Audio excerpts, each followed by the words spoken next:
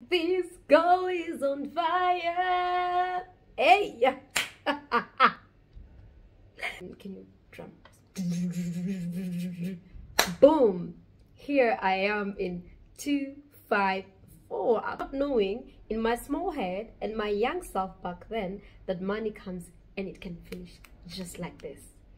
The money was gone and so that was me. So I decided to run away from home hello guys. Good morning good evening good afternoon where you are in the world. My name is grace nyagat this is my youtube channel and if you haven't been here before please go down there to the notification bell press it subscribe like and share. Then you get to know what amazing channel this is where you just come and hear stories get to know life in Dubai and get to know how Dubai is, anything you can think of of diaspora. And when I speak of diaspora, I mean UAE because that's where I'm living at the moment. So guys, welcome back and please, you better take your popcorns where you are because this is a just mm, mm, good story that you just don't want to miss. So yeah, and today I feel on fire as you can see this girl is on fire.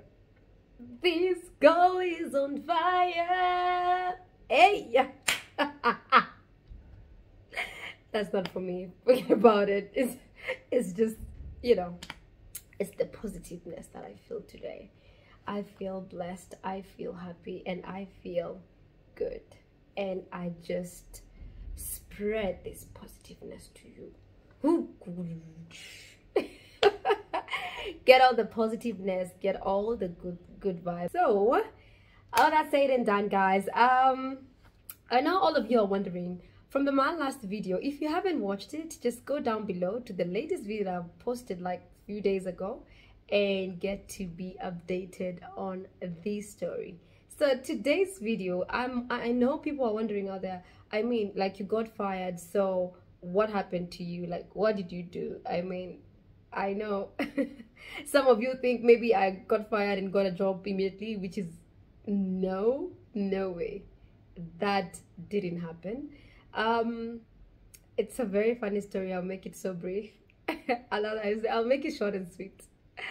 So yeah, like I said, I got fired in the most sweetest way possible. I don't know if most of you have experienced that, but for me it was the most sweetest way, but I don't regret it.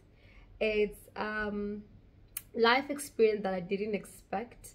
At that moment, I was not okay with it uh, per se. I wasn't prepared of the outcome. But you know, as I speak now, I feel like it was meant to happen that way for me to be able to get where I am today. So after I got fired, so what happened? uh, ladies and gentlemen, can you drum? Boom! Here I am in 254, a place where I didn't think that I would go back as soon that I got back to UAE. Like I just got in UAE and few months down the line, I'm back to 254. And you know, guys, um, when I finished high school, I just joined hustling. I never went to university, was my choice. So um, for me, I, I, I like being on the ground. Like, you know, I like um, you know, facing life the way it is. I, I didn't feel like I needed to um, go to school back back then. Although nowadays, you know, you just have to, you know, life when you grow up, life changes and you want to do courses and courses. But back then, I was like, no, I don't want to. Miss school is not my thing, so I never went to school. So I started hustling directly. So after hustle, that's when I came to Dubai. And few months down the line, here I am back to Kenya and um because i had some of my you know amount of money so i was okay. I was okay not knowing in my small head and my young self back then that money comes and it can finish just like this. So yes the money finished just like this. In the span of like few months the money was gone. Mm, the money was gone and wow what to do? You're in Kanairo like you're in Kenya and now money is not there so what is there to do? First of all your parents will be like do this do that. You'll be like a house whatever or you can call it you can do a b c d.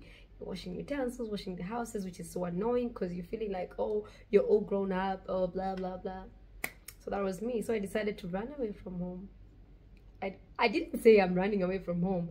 I just left home and went to you know live with friends. So and there i was mm-hmm, trying to to think that i know so much about life. You know it's so funny when you're young you think you know so much which apparently you're cuckoo upstairs you think you have faced life. You think life is um you know so good that you can actually live it without your parents you can live it without anybody else telling you like what to do what not to do. But girl boy mm-mm. listen to your parents. Obey your parents. That's a commandment from god. So please obey your parents. They are always um you know they want the best for you. Apparently apparently that i did I, I did know that but you know was a bit rebellious. So age told me that back then um i need to do what i had to do. So i left home and i went to just hustle. But that time i was living somewhere in the suburbs so life became sweet and i used to just go and have fun. So fun was me me i was fun.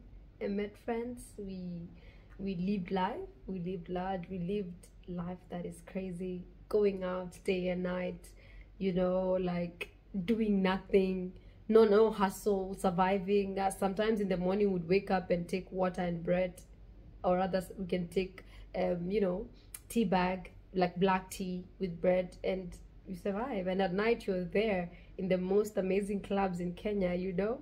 You know just enjoying life enjoying life. And it came to a time um life was really tough. It was totally tough. And it started reminding me my life in dubai and how life was in dubai when i was working. I was earning my money. I had my own respect. There's a level that parents put you whenever you are like earning so they you know they don't tell you things because they know you can actually handle yourself because you looked responsible. You are responsible in a different country alone. So um i started missing that life. I started missing um being here in uae because i was really responsible. Apart from me being a bad girl back then i was so responsible. I was earning my money.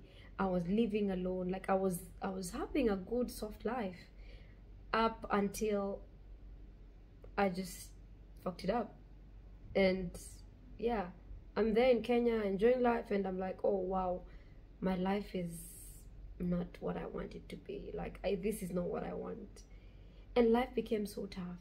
Life became so tough until now. We were disagreeing with my parents. Every time they'll call me, I'll be this bad person. I'll just think that they don't love me, so I'll just talk, you know not so well on myself. So, and that happened. One year down the line of, you know, troubles, suffering, put myself into risk, going to police stations, you know, like you're out there, uh, you know, drinking and having fun. You get caught in the police, you sleep in the cell, like all that bad life. And I was like, um, is this actually what I want? I mean, I'm a girl and I don't feel responsible of myself. So what can I do? What can I do to just, you know, not live like this? I need to find myself because I was lost. I was rebellious. I was running away from my family and I didn't feel like family was important then.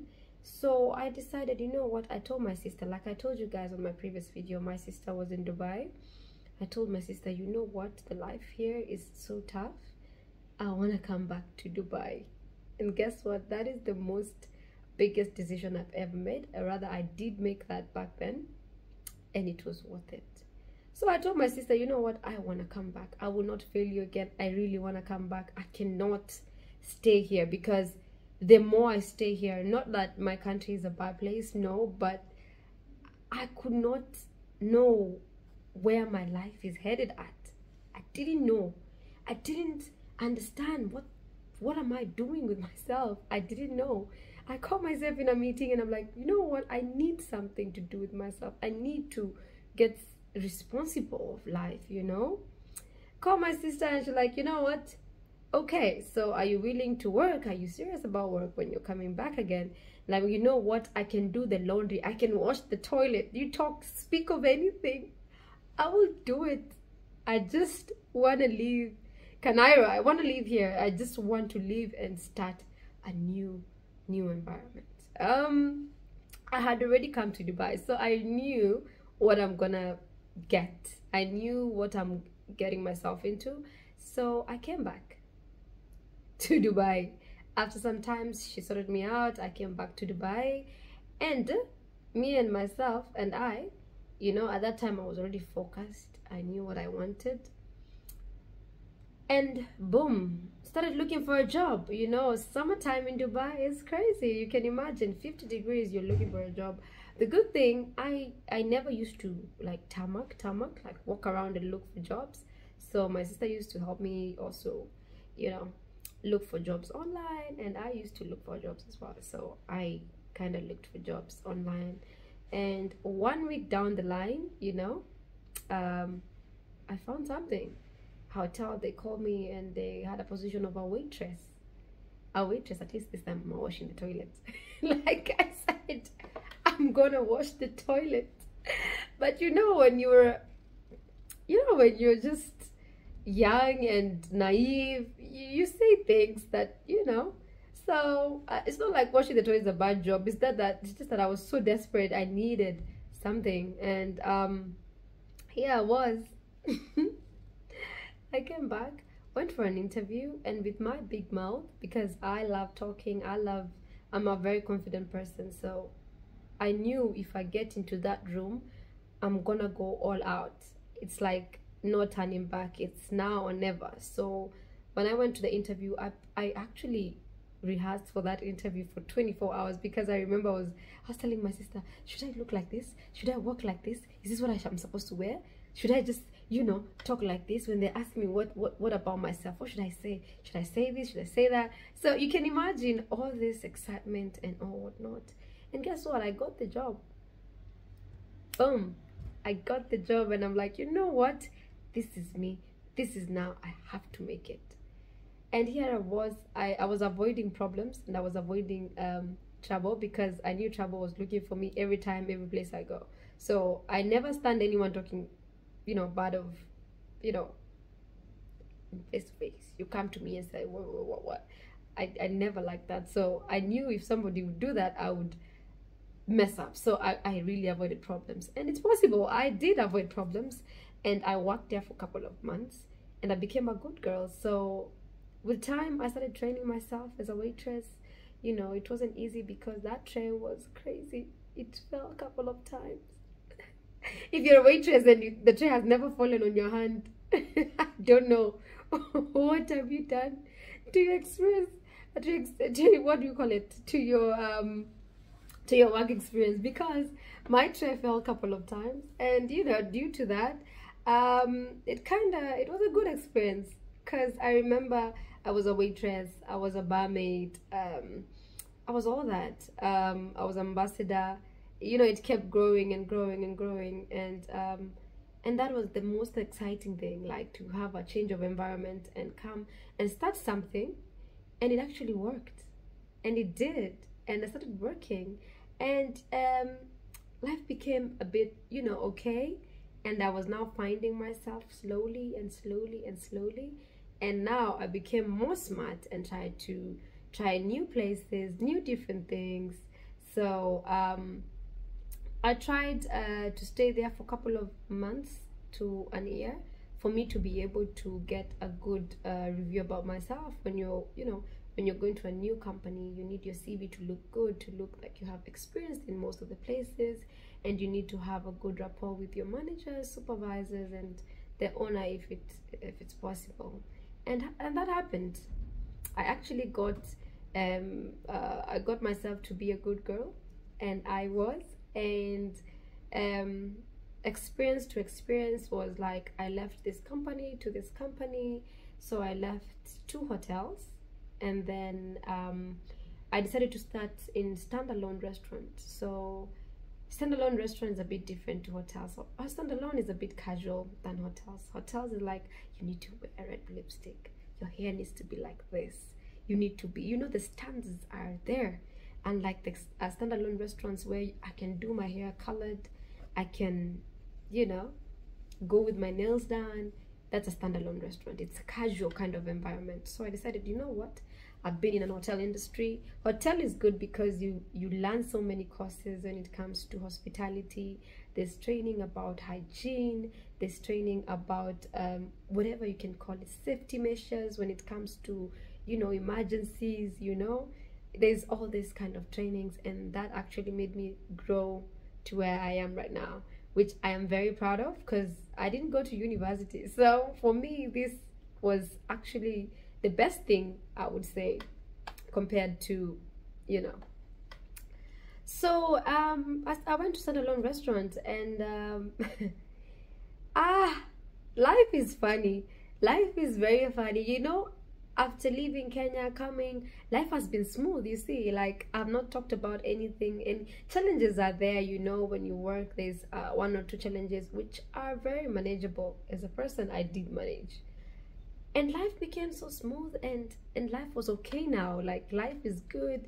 I have a good relationship with my family and my job is doing well. I am i'm doing good. My money is coming in well. I'm saving up okay. And then covid decided to come. After resigning i just resigned to the most amazing place. I just resigned to the place that i was working as a salesperson and went to a standalone restaurant three months three months down the line corona and guess what